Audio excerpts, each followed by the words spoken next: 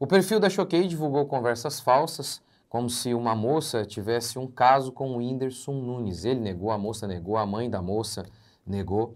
E a mãe pediu para que parassem de divulgar notícias falsas sobre sua filha, pois ela estava depressiva, tentando tirar a vida.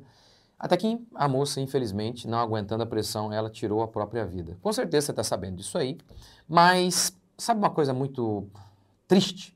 É, o cara responsável por essa página, de fofoca, ele disse que nos stories da, da página dele, ele tem mais de 2 milhões de visualizações, 2 milhões de visualizações por dia. Ou seja, muitas vezes é, você, as pessoas podem não estar cometendo o crime, matando a pessoa diretamente. Mas e se a gente está sendo fofoqueiro aí? Né? Vamos falar sobre essa desgraça que é a fofoca, como que a língua pode ser usada para o mal e explicar por que, que o ser humano ele tem tanto prazer em falar mal dos outros. E eu vou citar um caso aqui de, um, de uma pessoa muito piedosa. O cara é piedoso e ele falou, puxa, eu estava sendo fofoqueiro sem, sem notar. Puxa vida, eu penso, se um cara desse, piedoso, que eu conheço, estava sendo, tava sendo fofoqueiro, imagine nós. Curta, comente, se inscreva, porque esse assunto é muito grave.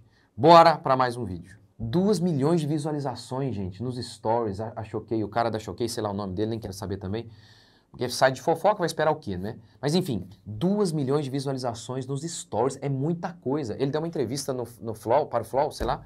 E aí o cara lá, o. Eu não lembro o nome do cara lá do, do, do, desse podcast, falou: Nossa, é muita coisa, hein? Você tem um baita de um poder na mão, hein? Espero que você seja uma boa pessoa. É verdade, muito poder implica em muita responsabilidade. Mas olha que coisa: 2 milhões de pessoas, é, gente, é muita coisa. Você sabe, se você tem lá o Instagram, você sabe, 2 milhões de visualizações por dia é muita coisa. Então, ou seja, tem gente produzindo conteúdo podre, porque tem gente consumindo esse conteúdo podre. Só tem traficante porque tem usuário.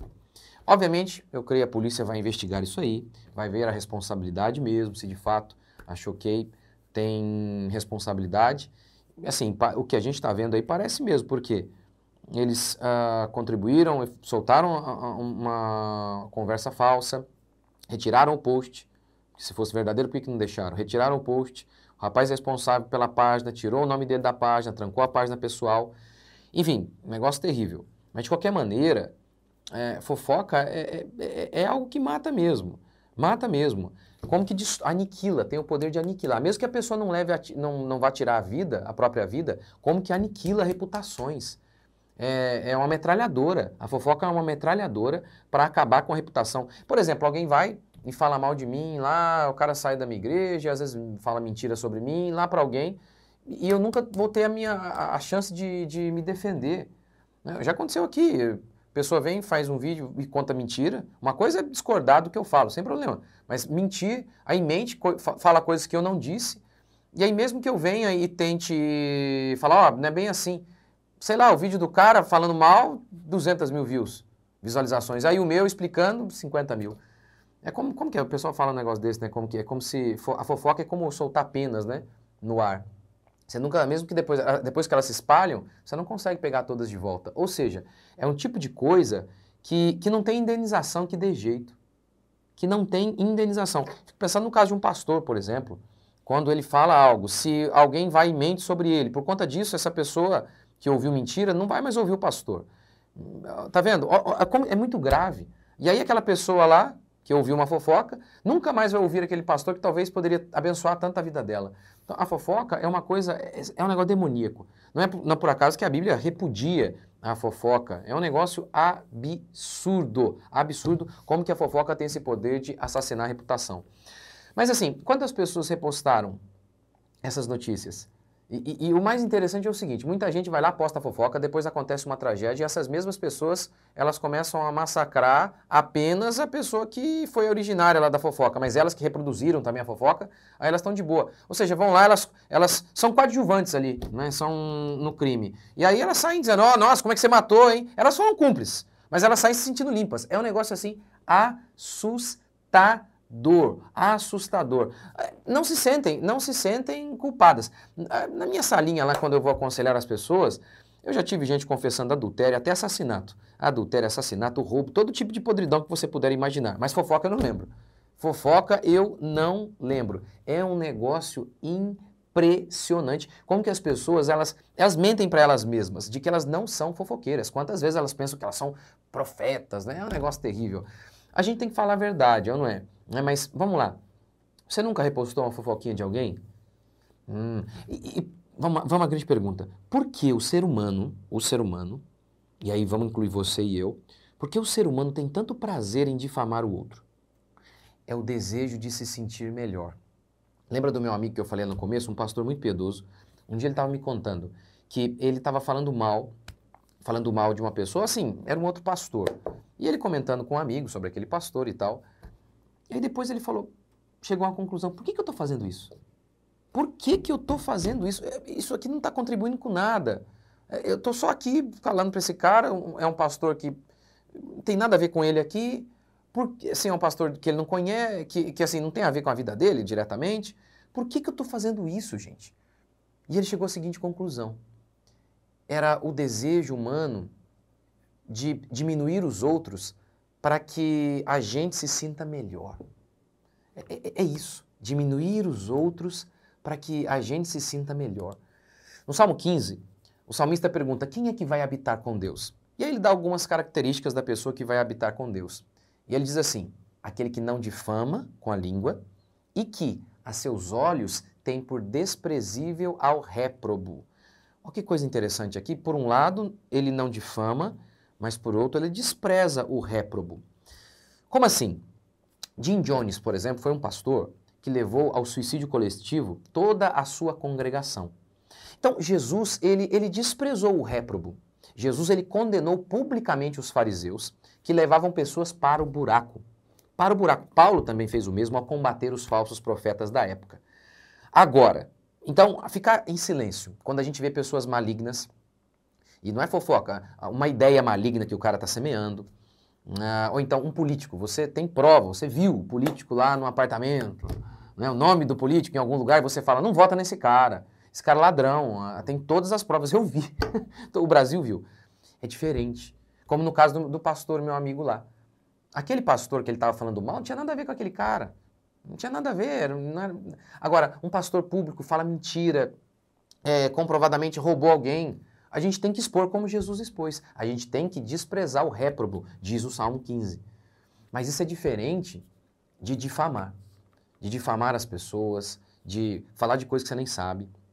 E, assim, tem lá o seu vizinho, seu vizinho. Tá, tá você na sua casa com e você tá lá falando do vizinho, para quê? Mesmo que seja verdade. Para quê? Para que falar mal? Mesmo que seja verdade, para quê? Olha, quanto mais você crescer em Cristo, mais você vai ter essa sensação de que é, falar de alguém, hum, falar mal por mal, mesmo que seja verdade, o Espírito Santo vai te incomodar, vai te incomodar. Quantas vezes a gente pode estar sendo cúmplice no assassinato da reputação de alguém. Às vezes não leva a pessoa a, cometer suicídio, como no caso dessa moça, mas a gente está assassinando a reputação de alguém. Está lá pensando que é um profeta, mas na realidade é um fofoqueiro. Então isso é uma coisa muito, mas muito grave. Então tem lá, um menino, seu filho fala, ah, eu quero andar com aquele rapaz lá, pai. Aí você chega e fala, filho, não, esse, esse rapaz é, um, é, ele não é boa companhia por isso, por isso e por isso.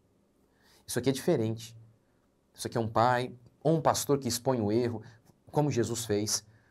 Hum, ou alguém que viu, viu, tem provas, lá o político com dólar na cueca que você diz, fique longe desse cara, esse cara é ruim por isso, por isso, por isso. Não vote nesse cara, não ouça esse cara. Não está vendo aqui é a repreensão de Jesus, que visa livrar as pessoas de cair no buraco. É um cego guiando outro cego. Então isso é diferente, isso é ser profeta. Mas muitas vezes o que a gente está sendo é fofoqueiro. Fofoqueiro. Então você precisa se lembrar de Tiago.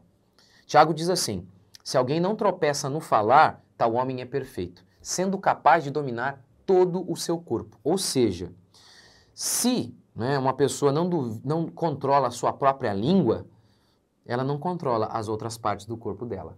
Ou seja, se ela peca com a língua, ela vai pecar com as mãos, roubando que não, pegando o que não é dela, com as suas partes íntimas, adulterando. É isso que ele está dizendo. Quem domina a língua controla o corpo todo. Quem não domina a língua, quem peca com a língua, vai pecar com o restante do corpo também. Ou seja, o fofoqueiro não é confiável. Quantas vezes você está lá pensando que é um profeta e você é um fofoqueiro? Você tem que orar a Deus para que Deus lhe dê graça, porque Tiago diz que a língua é como um leme de um navio. É a parte menor, mas controla todo o navio. Assim a língua controla todo o nosso corpo. Que coisa, que, que, que, que coisa. E nesses dias, gente, de redes sociais, em que antigamente as pessoas elas não tinham coragem de olhar para o cara e falar: Ô, oh, você é ruim, não sei o que lá, não sei o que lá, não sei o que lá. Hoje não. Hoje atrás, protegidinhos atrás de um computador, de um celular, as pessoas xingam mesmo, criticam. Por exemplo, sai lá um jogador, o cara fez alguma besteira e, e aí o povo já cai de pau, né? Esses dias mesmo eu vi, teve o caso do Marcelinho Carioca. Marcelinho Carioca foi levado a, foi sequestrado e aí ele gravou um vídeo dizendo, olha, eu saí com uma mulher é, casada e tal. E eu falando com meu pai, é coisa estranha, né? Eu, eu achei estranho aquilo. E fiquei ali quieto, falei nada. E eu já vi gente reproduzindo, tá vendo? E até pastor. Ó, oh, aqui ó, Marcelinho, tá vendo? Foi sair com mulher casada, aí o marido sequestrou. Depois, Marcelinho falou, não, o cara tava com uma arma na minha, na, na, na minha cabeça ali, me obrigando a falar aquilo. Mas tá vendo? O desejo, nem, nem espera. De, é, de, de, de, pô, e arrotando ainda como se fosse espiritual, né? É, isso aqui lá, e tá difamando os outros. Pelo amor de Deus, isso é muito grave. Isso é muito grave. O meu irmão, ele tem uma empresa de funilaria e pintura. E ele contando que, que tinha um canal né, aqui na internet, aqui no YouTube, de um cara que fazia funilaria e pintura e meu irmão acompanhava o cara. E o cara tinha dado uma parada. Por quê? Porque a, a quantidade de gente xingando e metendo pau e falando mal. Eu fiquei pensando, gente, funilaria e pintura, os caras dão um jeito. Não tem polêmica, pelo amor de Deus. Pensava eu, né? Pensava eu. E, e o cara parou porque não estava aguentando a pressão. A pressão.